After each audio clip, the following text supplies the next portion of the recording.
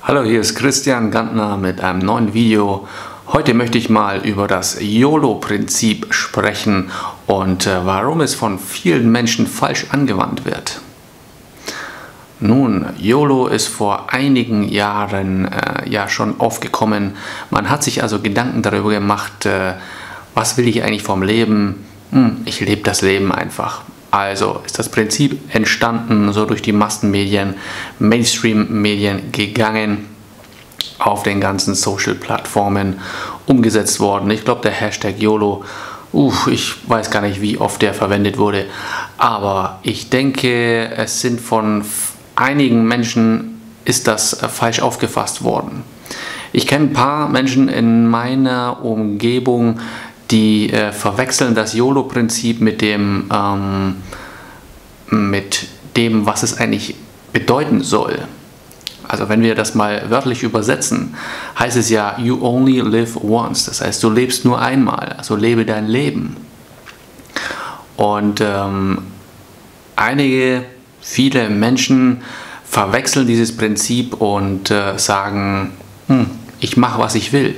Also sie äh, lassen den Schlendrian raus. Es hat auch sehr viel mit Konsum zu tun.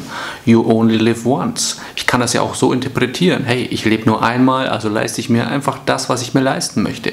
Ich denke nicht über die Konsequenzen nach. Ich lebe einfach mal so in den Tag hinein und was kommt, kommt. Und äh, wenn ich mir was gefällt, dann kaufe ich es mir und äh, Konsum, Konsum, Konsum. Also, you only live once bedeutet nicht einfach immer nur das zu tun, worauf man Lust hat. Das zu kaufen, worauf man Lust hat. Einfach nur das Leben laufen zu lassen. Sich nicht um morgen zu kümmern. Nein, you only live once bedeutet, mach dir das Leben bewusst. Sei dir dessen bewusst, was du da tust. Denk über die Konsequenzen nach. Also, wenn du ein gesundes, erfülltes, zufriedenes Leben haben willst, dann ist dieses YOLO-Prinzip schon mal nicht schlecht, aber verwende es bitte ganz bewusst. Also denk drüber nach, was du da tust. Fallschirmspringen, ein tolles Erlebnis zu haben oder äh, eine Reise zu machen oder mal eine tolle Zeit zu verbringen.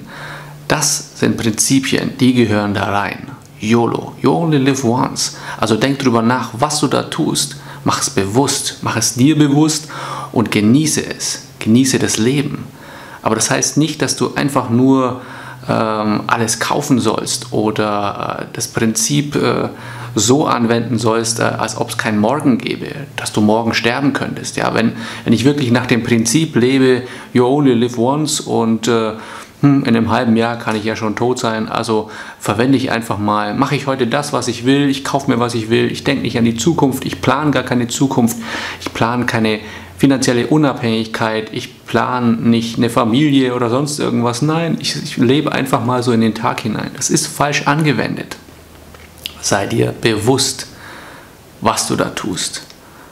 Schau auf die Ereignisse, die es im Leben gibt ähm, lebe sie bewusst und lebe das Leben selbst bewusster und genieße es.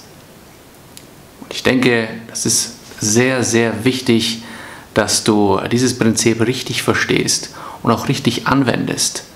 Einige junge Leute, die stoßen auf das Prinzip und sagen, oh okay, dann muss ich mich um nichts mehr kümmern und dann, ich weiß nicht, ob das Leben dann noch richtig so mit Struktur und mit Zielen und mit Plan ein bisschen gemacht wird.